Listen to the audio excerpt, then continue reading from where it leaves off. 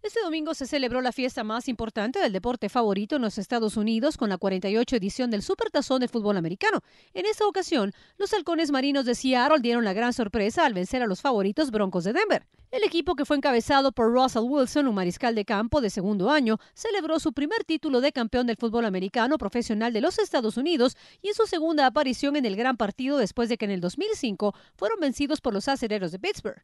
El show de medio tiempo estuvo a cargo del ganador del Grammy, Bruno Mars, y de la banda californiana Red Hot Chili Peppers, quienes compartieron el escenario y llenaron de energía y euforia el recinto. El Supertazón, que representa el evento deportivo con más televidentes en Estados Unidos anualmente, contó con más de 80.000 personas en el estadio MetLife de Nueva Jersey.